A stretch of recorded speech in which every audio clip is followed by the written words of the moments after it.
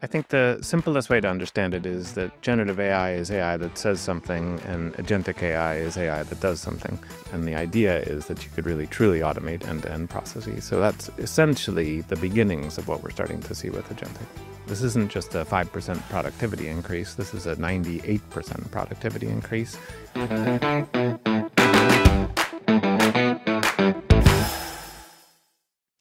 Welcome to another episode of the Insight in 15, KPMG's flagship podcast focused on the big issues facing business leaders today and in the future.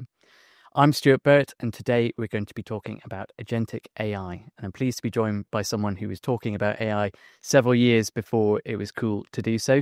Paul Henninger, an expert in AI, digital, and emerging technologies at KPMG. Welcome, Paul, to the podcast. Thanks so much. Good to be here. As ever, we've only got 15 minutes to go through what is quite a big topic, so we'll go straight to it. What is agentic AI and what's the difference to the other types of AI that we've seen?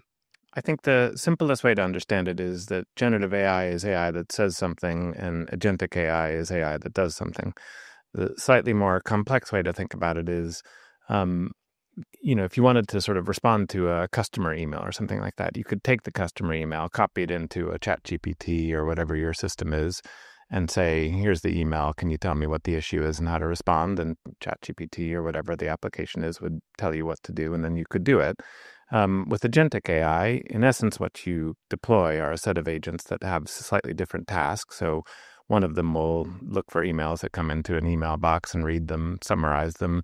Another one will classify what type of issue it is. Another one will take that issue and you know search for different resolutions to the issues. And then the fourth one will pick one of those resolutions based on the customer's information or whatever and literally send an email back to that customer with a link to whatever the resolution is. And the idea is that you could really truly automate end-to-end processes. Okay. And why now are we talking about it? Why in this particular moment in time because if I think about other big moments where there's been a spike in interest in AI, it's been tied to the release of something like ChatGPT. What's driving the focus now on agentic AI?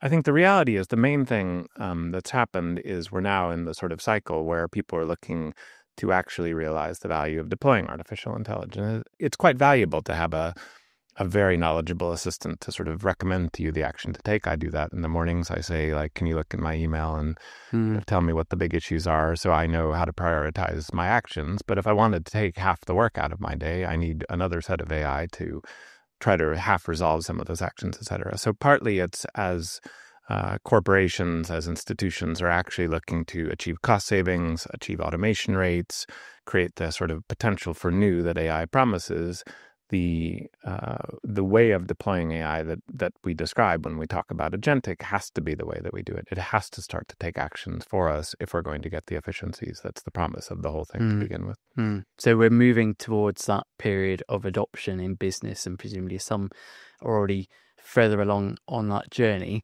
If you're a business leader listening to this podcast, where do you start with that? What we've said for a while with clients. Um, is that if AI is going to, you know, be the key to a significant cost savings or is going to unlock a lot of value, it is going to solve the problems that are your biggest problems to begin with. So what we increasingly are doing is rather than trying to think about, you know, what things do we think AI might be good at, we simply take as a starting point what are your biggest problems, you know, for a large retailer, that might be the problem of waste in their stores or something mm. like that. For a financial institution, often they're very fixated on the amount of time and complexity involved in customer onboarding processes. And that's increasingly where we're focused. Um, if we can solve the biggest problems that our clients have, then not only have we achieved some value, then you've established the data infrastructure, the capability, the transformation processes, the sort of resource models, et cetera, that you're going to need to rework large tracks of how business is conducted, whether it's interacting with the customer or the back office and middle office processes that keep things running mm. day to day, basically. And so, if you overlay with that sectors and the sector focus, are there some sectors that are further along that journey? You mentioned a few there. Uh, presumably, there are also some that are a bit more risk averse, maybe some that are regulated industries, especially. How do you see that playing out across different sectors? Yeah, it's interesting. I mean, as with anything, there are sectors that are a little further ahead than others. Um, although uh, one thing that's fascinating is it's not necessarily the regulated sectors that are trailing behind. In some respects, uh, so for example, life sciences is one of the most advanced sectors in the use of AI, and that's right at the core of their business model, i.e., uh, they have been for years trying to deploy and have succeeded and started to succeed in big ways in using AI to develop new chemicals and drugs and things, which are then scaled out in the rest of the business.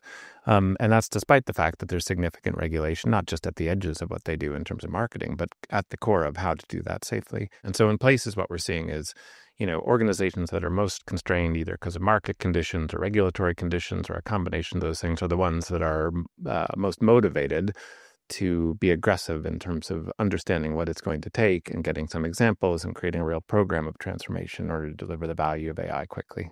Yeah, great. And you mentioned a few of the tasks that it's particularly good at, focusing on agentic AI. On the flip side, are there any where you'd recommend you wouldn't want to deploy it quickly or you take a bit more caution over? In general, um, what I would say is that it's not a question of whether AI is appropriate to things, but how complex and costly would it be um, to do all the engineering work and possibly some research and development required to attack a problem. Um, so what we found is that uh, you know significant chunk, chunks of what what we do in companies, you know, the finance function, the HR function, the risk function, as well as customer interactions and even product development, all of those things are things that can significantly be enhanced with AI.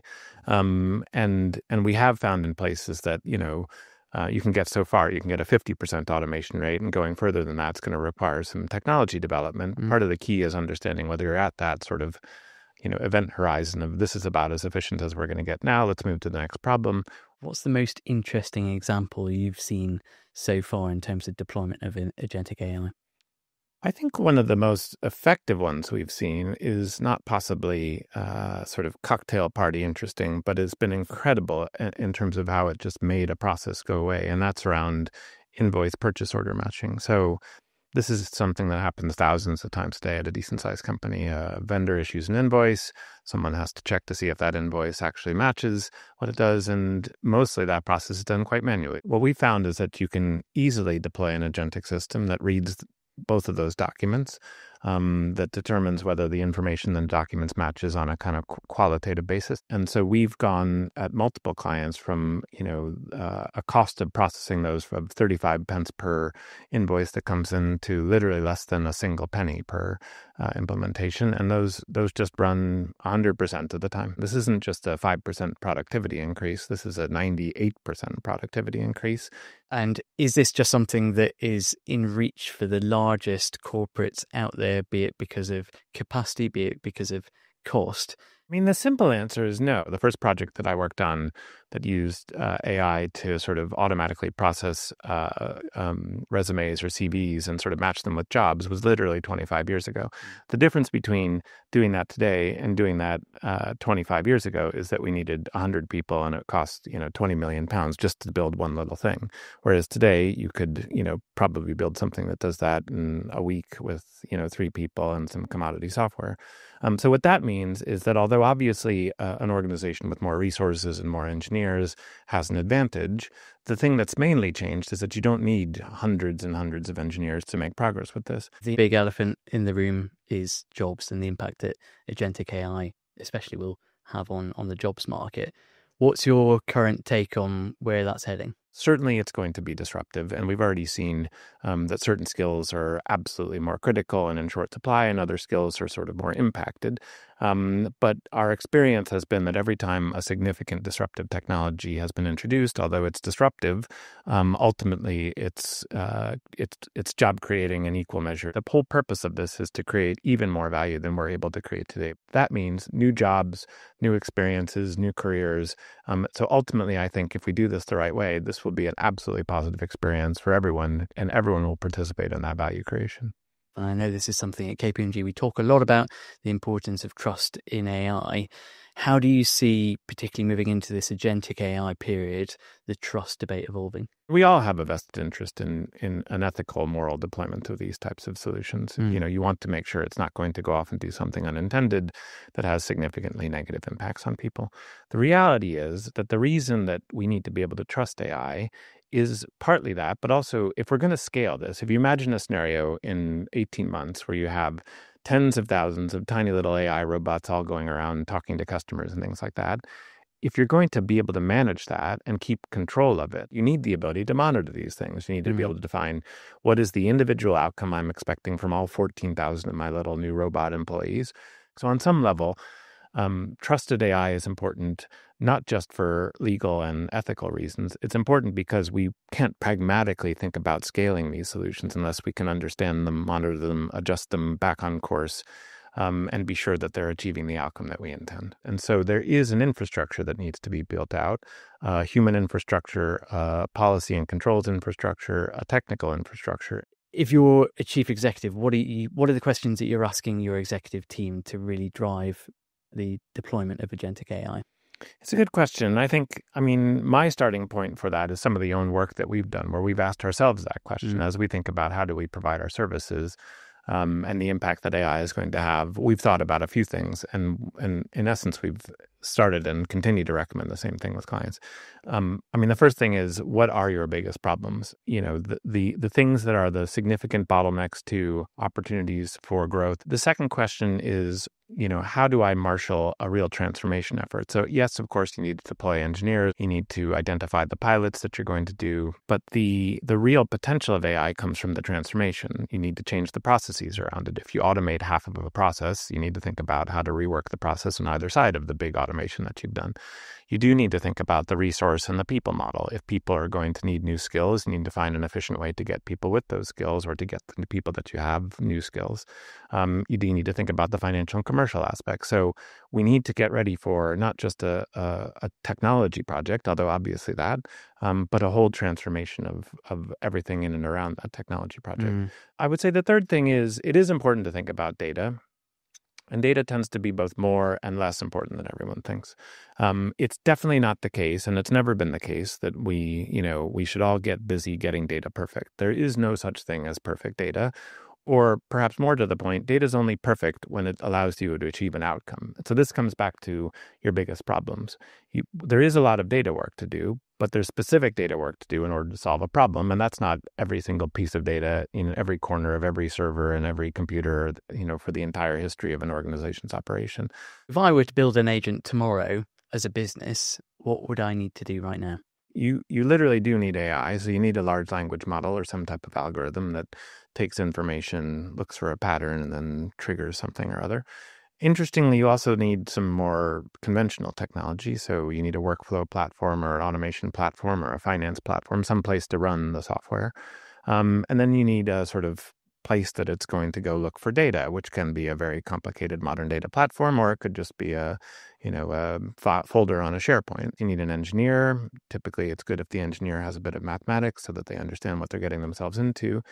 Importantly, you need someone who understands the domain. If you're going to solve a customer problem, you need someone who understands a customer. If you're going to solve your own email problem, you got to understand what you're trying to accomplish from an email point of view. So, on some level, it's like any software project. You need some specific technology. You do need an algorithm, um, and then you need a few people who can, you know, come together to solve the problem and make the problem real uh, and deployed and uh, demonstrable to everyone who's going to come around and see your agent when you're done with it.